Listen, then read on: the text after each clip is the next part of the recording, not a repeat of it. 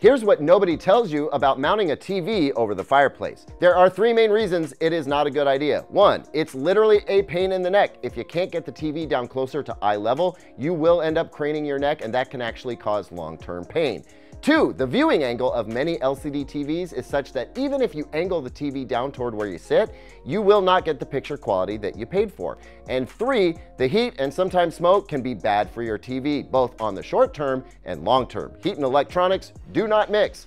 This is not new info, but what experts like me often gloss over is that over the fireplace is often the only place you can fit a TV due to the room's layout. So if you need to mount over the fireplace, use an articulating wall mount like this one from MantelMount that lets you bring the TV down closer to eye level and has a sensor built in to indicate if the TV is getting too hot. This way you protect your neck, your eyes, and your investment. Follow me for more tech tips.